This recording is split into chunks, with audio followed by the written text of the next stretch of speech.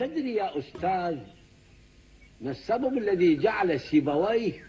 وهو رجل من أصل غير عربي يجد في دراسة أسرار اللغة العربية حتى يصبح ذلك النابغة الذي ما يزال كتابه هذا أول مرجع قديم في قواعد النحو.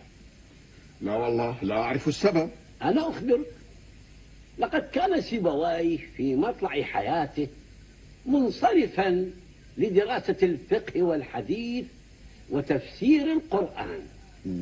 ولم تكن دراسة النحو وقواعد اللغة تخطر على باله لا من قريب ولا من بعيد. سبحان الله.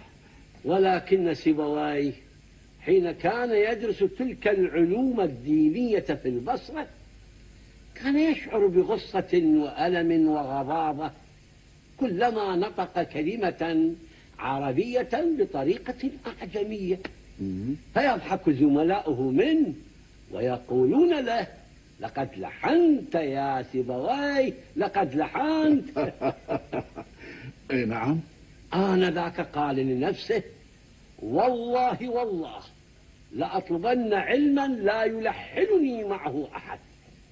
وتوجه إلى حلقة عبقري العرب الخليل بن أحمد الفراهيدي فكان من أنبه تلاميذه ثم وهب حياته كلها للتعمق في أسرار اللغة العربية والاستمتاع بعالمها السحري الجميل. فإذا سمعت نحويا يقول قرأت في الكتاب كذا وكذا فهو يعني كتاب سيبويه. نعم يا سيدتي. فكلمة الكتاب عند النحويين بخاصة نعم. تعني كتاب سيبويه. سيبويه واحد من أعظم من خدموا لغة القرآن الكريم. وكتابه مرجع في اللغة والصرف والنحو. وكان عنوان كتابه الكتاب.